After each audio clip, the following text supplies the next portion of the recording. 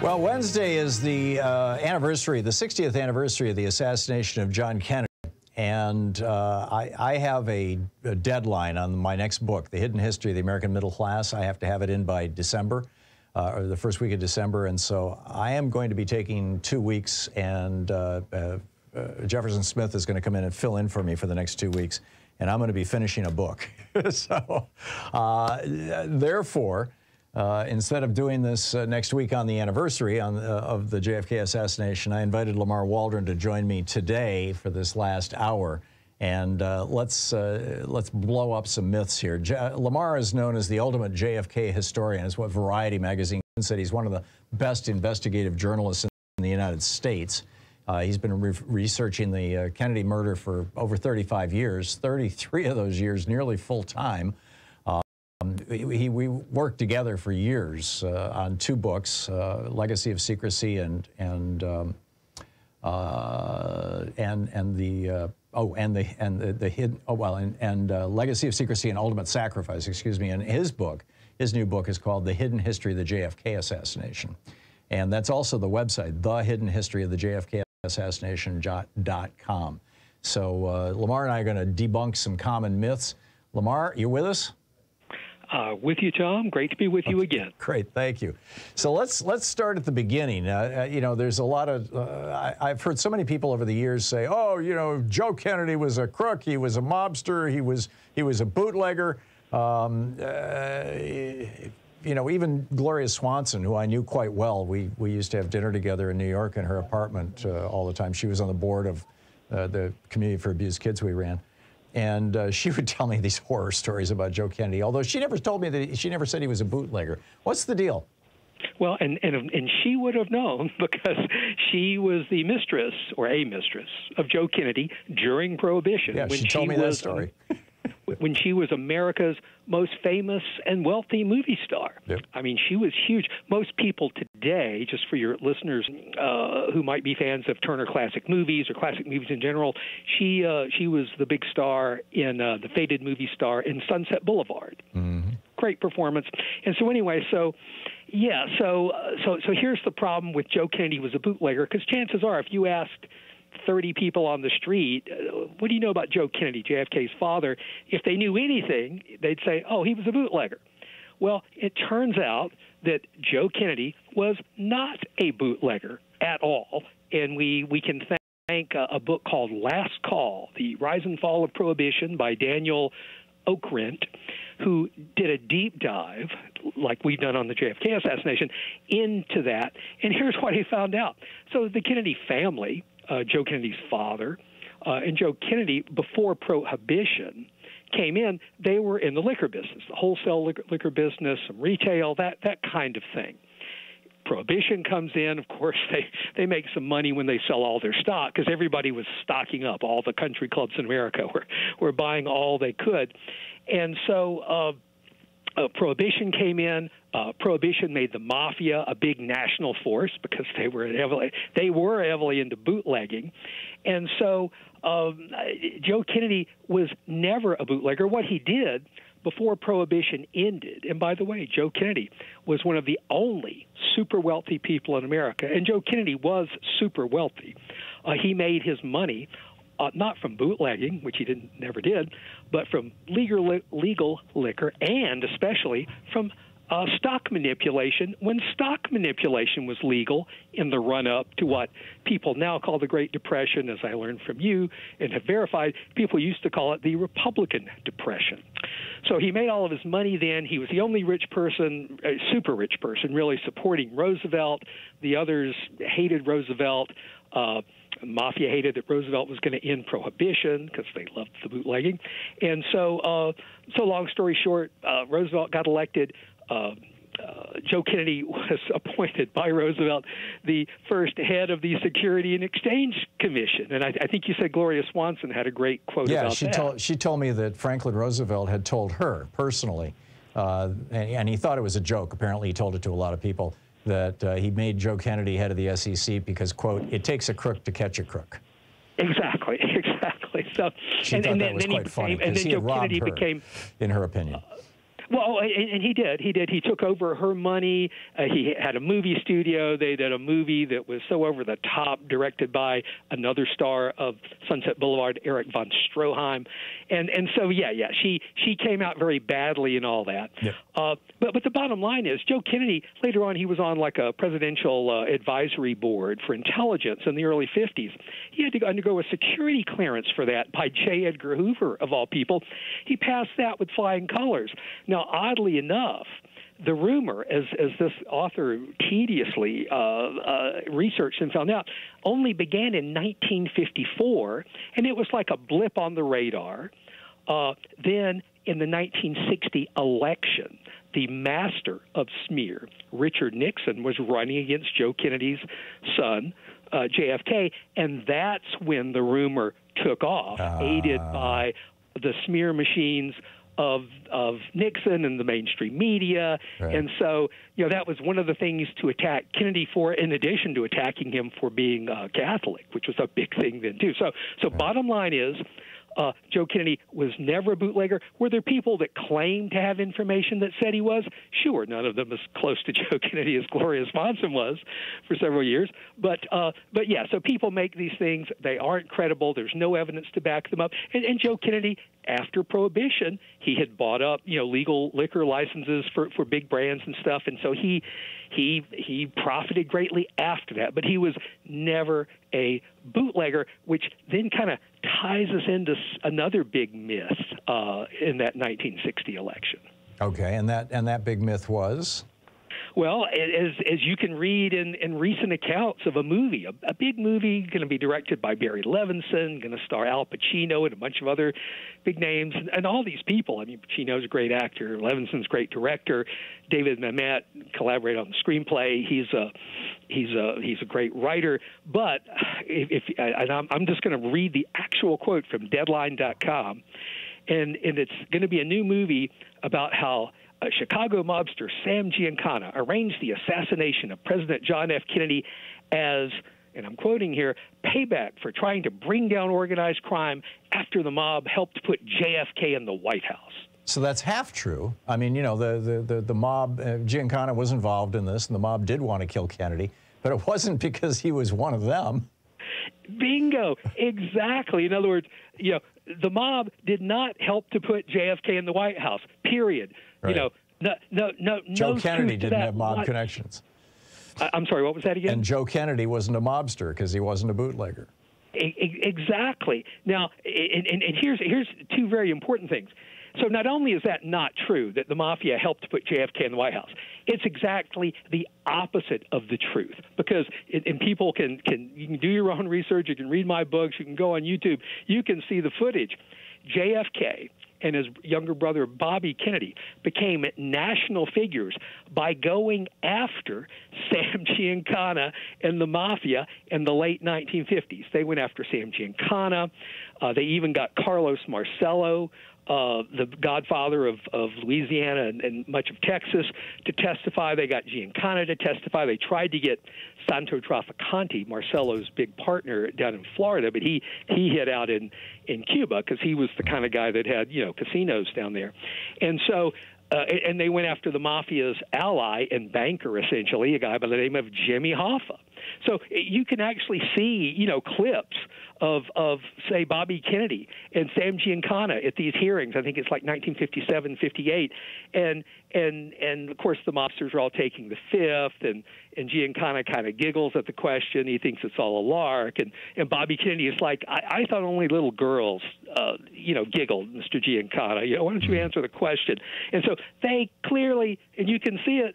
They hated each other Yeah. from the get go. Yeah. JFK announced his run for president in the very hearing room where they had gone after Sam Giancana in the mafia, and JFK made a promise. He said, Look, if you elect me president, I'm going to really go after the mafia, which was badly needed because Hoover. In the early 50s, had kind of denied the mafia even existed. The Eisenhower Nixon administration, uh, Nixon being the vice president, pretty much the mafia had the run of America, a, a, huge, a, a huge presence in many, even middle-sized cities you've never heard of before. I mean, and, and the mafia certainly had the run of Cuba, and so uh, Nixon was the mafia's candidate, and they gave him a million dollars in 1960 and cut a deal where they were going to assassinate Fidel Castro right before the election just to help Nixon win the election. Yeah, Nixon was the guy who had been in with the mob all the way from his his his uh, beginning in his career. Remind me of the numbers, and we're going to hit a break here. But um, uh, my recollection is that prior to the Kennedy administration, there had never been even hundred prosecutions of organized crime in any one given year by by the FBI, and that after, in the first years of the Kennedy administration, there were literally hundreds of prosecutions of the mob. Oh, I, I, I have charts in in the hidden history of the JFK assassination, and you can see the number of indictments. I mean, it doesn't go up five times; it doesn't go up ten times. It goes up a hundred times. Wow. The mafia was under tremendous pressure from the day JFK came into office, and he appointed as his attorney general Robert Kennedy. And, and, and they were leaking stories to the big news magazines and newspapers, and they were just going after the mafia. Uh, and Lamar, we were talking about the CIA mafia plots. This uh, Richard Nixon back in 1959 was vice president of the United States, and Cuba fell to uh, to Castro, which produced kind of a political earthquake that helped uh, get Jack Kennedy into the into the White House. Tell us about that. Well, um, so you're right. Uh, Nixon was uh, the mob connected since 1946 in his very first raise in California. You got mafia support for that uh, from an LA mobster at that time, uh, one of the two heads of the LA mafia named Mickey Cohen. And Mickey Cohen, by the way, wrote about that in his autobiography. It's like no big secret. But in any event, so so Nixon, uh, you know, so so the U.S. had actually given Castro some help. Um, you know, the CIA loves to play both sides, just like they did with Iran back in the mid 70s and the Shah and the Ayatollah. So, uh, you know, um, the, the the the CIA had given Castro some help, so you know, and and it wasn't just Castro. At that time, Castro was one of a dozen revolutionary leaders. He was the one that was most publicity savvy. So he wanted to come to Washington and say, "Look, this this dictator."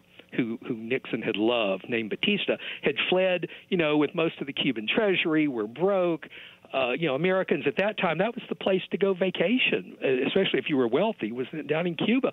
So, so Nick, so Castro was going to come to the U.S. to to kind of beg uh, Nixon. Um, uh, you know, for for some financial aid, right. and so Eisenhower didn't want. He had to meet with Nixon because Eisenhower didn't want to have anything to do with Cuba, and so he delegated all of Cuba to basically Richard Nixon because he knew Nixon had been to Cuba and had known Batista. And basically, Castro came and basically begged for aid. And Nixon not only turned him down, said, you know, we're not going to give you a dime, you know, to make up for the money my old buddy stole from you.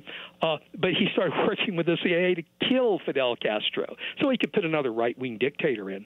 And so first went through Jimmy Hoffa, to some of Hoffa's mob friends. That didn't work. So, summer, uh, three months before the 60 election, Nixon orders the CIA and E. Howard Hunt. Uh, Nixon had been going for meetings at the CIA headquarters about this, which, by the way, we should have those files, but they've never been released, and says, Look, you guys amp this up. I got to have Castro dead before the election because Nixon, I mean, you know, Nixon was the elder statesman. Uh, JFK was the kind of young, fresh face. But you know, if if American troops were fighting in Cuba, Nixon was confident, and he was probably right, that the voting public would go with the experienced, you know, eight-year vice president over this relatively young senator. So, so the CIA reached out to a guy by the name of Johnny Roselli, who was uh, the Chicago Mafia's man in Hollywood and Las Vegas uh, because they knew that he could get them to the guy they really wanted to get to, named Santo Trafficante, who had casinos in Florida. Uh, he was the godfather of Tampa, kind of first among equals in Miami, and so Trafficante was was who they wanted to talk to. They had to. One of the CIA guys actually knew Johnny Roselli, so they went using an intermediary that worked for the CIA and Howard Hughes to get to Roselli. But then Roselli said, "Well, look, I'm I'm the Chicago Mafia's man in Las Vegas and Hollywood. I got to bring my boss into it, Sam Giancana. Now, Sam Giancana was not a godfather like Marcello and Trafficante. He was a mob boss. Sure. But by the way, just so your listeners aren't worried. Uh, I, I'm on a landline phone. I think they can actually see me now because Yeah. that actually gives the clearest voice connection of you know wireless phone, Yeah. uh, No, all cordless good. phone, all that stuff. So anyway, so so basically, we are at the CIA mafia plots that were supposed that Nixon plots with the CIA. It was part of the same deal with the million dollar bribe the um, mafia gave to Nixon so that he wouldn't prosecute Hoffa because after the Kennedys exposed Hoffa's wrongdoing, there was a lot of pressure for that, even though the Eisenhower administration didn't like to prosecute mafia uh, associates. So, so basically. Uh, uh, we now have in these plots Johnny Roselli, the Chicago Mafia's man, in Hollywood and Las Vegas. The CIA used him to get to Santo Trafficante, the godfather of much of Florida, and uh, who owned casinos in Cuba. So that was the important part.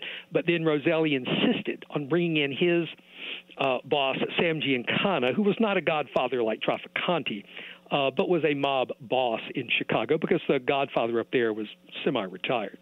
And so basically, that was all supposed to go down. The mafia was not stupid. Uh, the CIA wanted, and they actually said, look, we want you to kill Castro gangland style, you know, in an open vehicle, maybe, something like that. So everybody knows he's dead. His brother, Raul, can't hide the fact that he's dead, you know. But, but the mafia knew if if Castro were killed gangland style, the people in Cuba would blame the mafia and they would not let them reassume control of their casinos, which, by the way, were all still open. It's true Castro closed the casinos after he and his dozen associates um, uh, took over Cuba, but he immediately reopened them and put a mafia associate by the name of Frank Fiorini, who later used the name Frank Sturgis, in charge of of you know handling the payoffs with the mafia. So the so the casinos were open. So that's why the mafia didn't want to you know kill Fidel Gangland style. They were going to try to poison him. A, a Chicago uh, made member of the Chicago Mafia, who also worked for the uh, Cook County Chicago Sheriff's Department, actually got as far as getting in to uh, Fidel Castro's office with some CIA poison. That didn't work out. CIA also tried uh, one of Castro's mistresses. That did not work out. So, bottom line is, uh, Kennedy won the election. You know, it was close, but not all that close, and and became president. But now here's the important part the CIA, you know, Eisenhower wanted to keep arms length and just leave all that CIA mafia stuff to Nixon. And when Kennedy became president, you would think the CIA director, Allen Dulles, would have said, by the way, we've been working with the mafia on the orders of the former vice president, and do you want us to keep doing that or not? That did not happen. Uh, Nixon had a lot of challenges. You know, rumor is he was a good sport, yeah, in public, but in private, they were pushing stuff even even right up till JFK was was inaugurated to try to reverse the election. Of course, it didn't work, and so the CIA went to Nixon and uh, went to new President Kennedy and said, "Oh, by the way, uh, we've been trying to get rid of um, uh, Fidel. We're going to have this invasion. Where we're going to train a couple thousand Cuban exiles and send them in, and they're going to somehow defeat Castro's uh, hundred thousand man army and militia."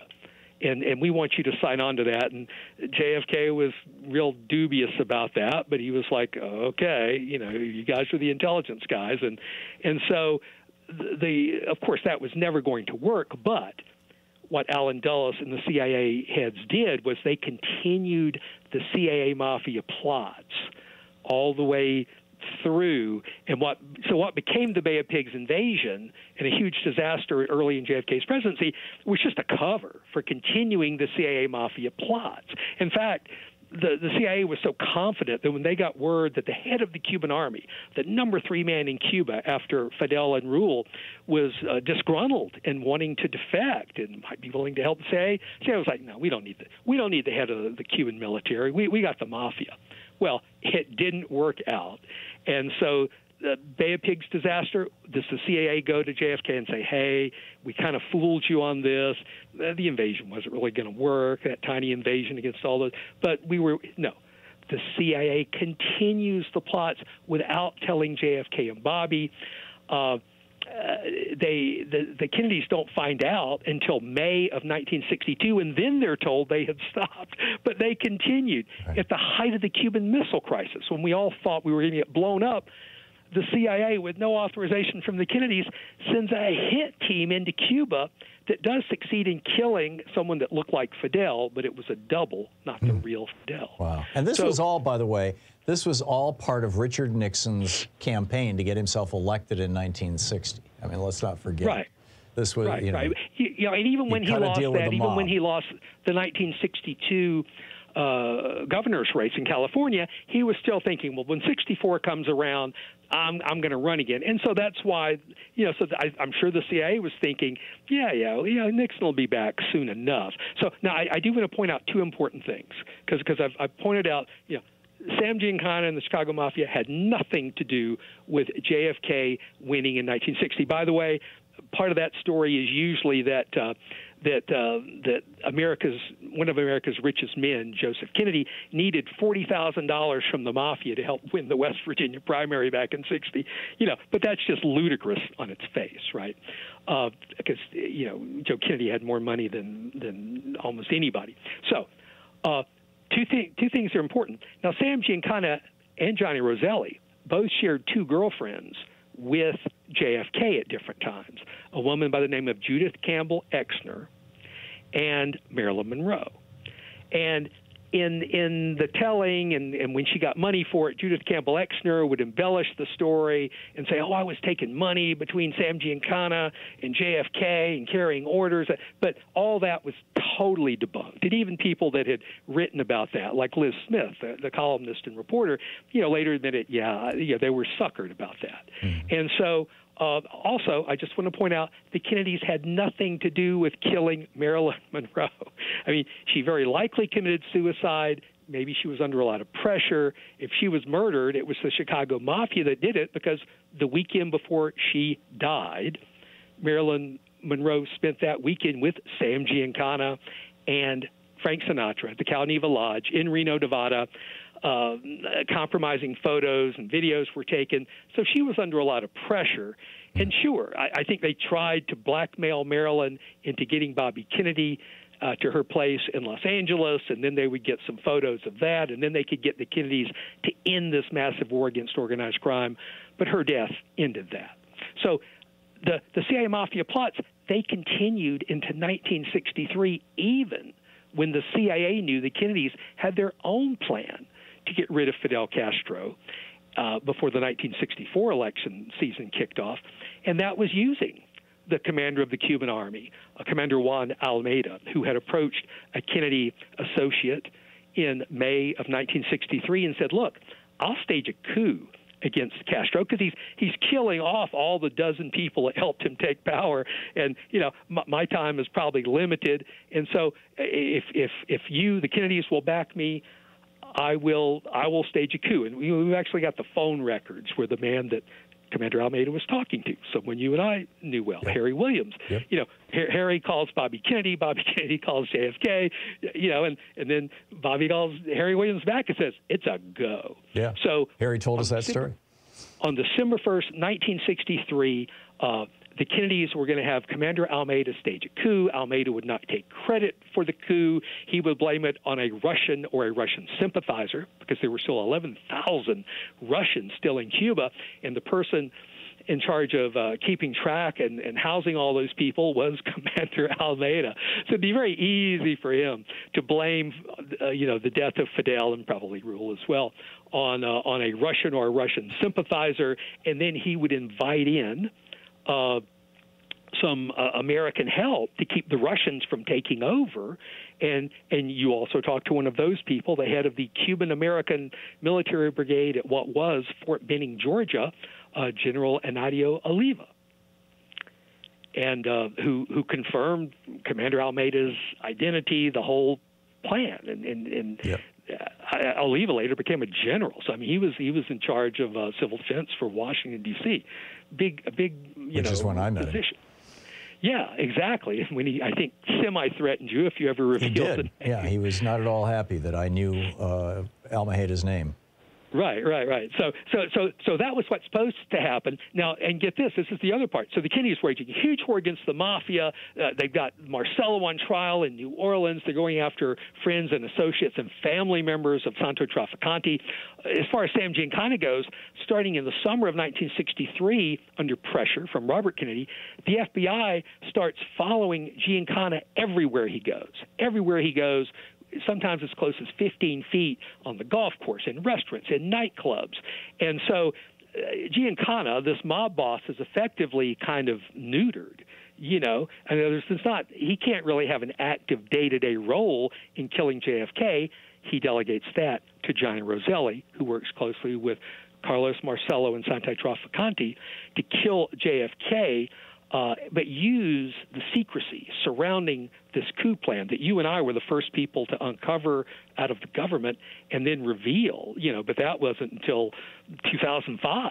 Mm-hmm. You know, that's how secret because uh, Commander Almeida didn't die until 2009, and and that's responsible for so much of the secrecy. But the Kennedys were not going to let the mafia be part of the coup plan. The Kennedys were not going to let the mafia reopen their casinos after the coup was successful. So the mafia had nothing to gain by waiting till after the coup. They weren't getting their casinos back, and everything to gain by using the secrecy surrounding the coup plan to kill JFK in a way that would force the government, including Robert Kennedy, to withhold so much information. To essentially cover it up. So basically, this this program that was so incredibly top secret, the JFK Almeida coup plan, because remember, this is just a year after the tense nuclear standoff of the Cuban Missile Crisis. So we're talking, you know, November 1963 here. And and so um, you know that's like the most secret thing in the world. I mean, uh, JFK Secretary of State Dean Rusk personally told me when I interviewed him uh, back when we were working together. I went to Athens, Georgia, University of Georgia. He was like a professor emeritus sitting in his office, and he said, "Yeah, oh, the Kennedys didn't tell me about the coup plan that it was a real thing before JFK died. They said, well, you know, we're working on this. There's a possibility. And in fact, there are hundreds of pages of files that I helped to get released talking about the coup plan and how the the um, you know U.S. military is and, and CIA they're hoping to find someone high in the in the uh, Cuban government that will help them. And they found a few lower level people, but but basically that was just all a cover you know, because since May of '63, the Kennedys had found the guy. You couldn't get any higher. You know, the number three man in Cuba, uh, way more powerful than Che Guevara, and um, you know, the head of the Cuban military. And so, so even you know, the Secretary of State and, and the Secretary of Defense, they weren't read in to this at all. Uh, Chairman of the Joint Chiefs knew, several high CIA officials knew, Bobby Kennedy knew, Bobby Kennedy's number one aide, John Nolan, saw all this paperwork. Uh, and, and, and, and as Nolan told me, and, and you found the first uh, declassified file, and then uh, a great uh, JFK researcher named John Nolan gave me others, uh, because the Kennedys knew they were getting ready to kill Fidel, basically, on, on December 1st, 1963. What if Fidel found out? What if he retaliated by trying to assassinate, say, the American ambassador to Panama? How would the U.S. react? And so there were a dozen meetings generating thousands of pages of memos, of which we have a couple dozen, uh, about what to do if that happened. What to do if Castro assassinated an American official. And as, as John Nolan told me, you know, you you wouldn't want local officials to do the autopsy. You'd want the autopsy to be done at a U.S. military facility, et cetera, et cetera, because you wouldn't want to be rushed into, you know, nuclear war, World War III, if it turned out again, the example Nolan gave me, the ambassador to Panama was killed in a, you know, random street robbery. You know, so so they were making all these plans for what to do if an American official was assassinated, but but through several people, including Bernard Barker, one of the Watergate burglars, who in 1963 was E. Howard Hunt's assistant, and Hunt was one of two CIA agents assigned to work with Harry Williams Harry didn't work for them; they worked for Harry Williams because they were doing things like you know helping uh, Almeida's wife and and a couple of his kids get out of Cuba, uh, giving them money in case you know Almeida was killed in the coup, and and Bernard Barker, Hunt's assistant, uh, was a long time. We know this from an FBI file. Since 1949, he'd been working for organized crime, specifically in 1963 from 1960 for Santo Trafficante. Right. And so I, I've actually I'm now up to eight different mafia people that knew about this top secret plan that even the Secretary of State didn't know about, and they were able to infiltrate that and turn parts of it to use to kill JFK in a way that would force that huge cover up. We're talking with Lamar Waldron, the author of The Hidden History of the JFK Assassination. Okay, Lamar, we've got about five minutes here. Let's, uh, let's land this plane. So, long story short, uh, the godfathers of Louisiana and Texas, and much of Florida, Santo Trafficante and Carlos Marcello, they had been planning for more than a year to kill JFK. We actually, again, have files about that. They'd been planning since the fall of 62 to kill JFK. Hoffa wanted to kill Bobby Kennedy because he was leading the charge against organized crime, but but as, as Marcello told an FBI informant, who luckily told the FBI, you know, if you kill uh, if you cut off the tail of the dog, meaning Bobby Kennedy, the head will turn around and bite you. But if you cut off the head, tail will quit wagging. So you should go after. So they'd had a year to plan it. There was an attempt to kill JFK in Chicago, you know, the home territory of Johnny Roselli and Sam Giancana. Uh, that uh, they the Secret Service found out they called off not just the motorcade but the entire trip to Chicago really angered Mayor Daley a lot. The Secret Service knew all about that, and that there were some people at large that were not captured. But the mafia doesn't just have one backup plan; they even their backup plan has a backup. So the backup for Chicago was Tampa. So JFK's longest motorcade of his presidency, the Florida Hotel, was huge. Imagine the Texas School Books Depository, only almost twice as tall. Every window opened in those days. Tampa chief of police, the first person who he said, the first person ever call him about this. He he said, yeah, they were worried. He advised JFK not to to make that motorcade. We're at two uh, minutes, but, Lamar. Just FYI. But um, uh, JFK went ahead with it because he had to give some remarks in Florida that in a speech that would be reported to Almeida, basically giving him the go ahead. And then so that got canceled. But then, as we know, in Dallas, that was Plan uh, C is that Plan C, but that actually worked. But I, I, I tell you this: so on on tying the attempt to uh, to to what was supposed to happen to Castro. Castro was supposed to be shot in an open jeep in Varadero Beach so that everybody could see that he was dead you know that was applied. Bobby Kennedy was worried somehow somebody had taken, you know, what he knew was supposed to happen to Fidel and used it on JFK. Even the bullets found in Oswald's rifle were linked to a Dallas gunsmith who was uh, caught again by, by an informant talking about how somebody can make a lot of money on the stock market because the U.S. was going to invade Cuba in December. So there were just so many things. That's why so much was covered up. Other myths we need to bust. There wasn't one official government investigation into you know the assassination, the Warren Commission. There were six, right. uh, including the House Select Committee, that said that JFK was killed as, as a result of a conspiracy and uh, uh, Marcello and Trafficante had the motive, means, and opportunity to have done that. Uh, the last investigation in the 90s that I helped on a confidential basis, they actually turned up uh, a confession that Carlos Marcello made to Jack Van Laningham in federal prison. Um, and so uh, they have hundreds of hours of tapes of Marcello talking about things like Jack Ruby and Lee Harvey Oswald and, and stuff and Hoffa's disappearance. Those tapes according to the law, the 1992 JFK Act should be released. They are not. There's there there are a, a dozen categories of files that have never been released and should great, be. Great stuff, Lamar. The, Lamar Waldron, the author of the Hidden History of the JFK Assassination. Thank you, Lamar.